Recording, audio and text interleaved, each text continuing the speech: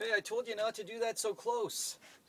Uh, so, uh, beautiful day once again. Uh, here I am uh, coming to you live from 1639 Charlton Road, uh, my training center and pet hotel. I'm standing in front of the sauna. You know, one thing I love about this property, you got to see this. Come on inside and pardon the mess, but just check out this wood burning sauna. It's still warm in here from the sauna this morning.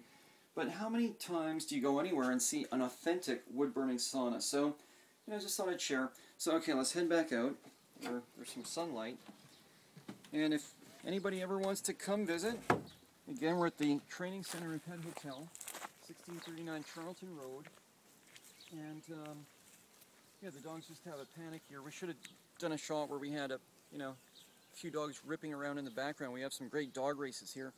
If we do a quick pan, uh, yeah, you can see what it is. Let's just walk a little bit more and um, I'll give you some idea of what the dogs enjoy here.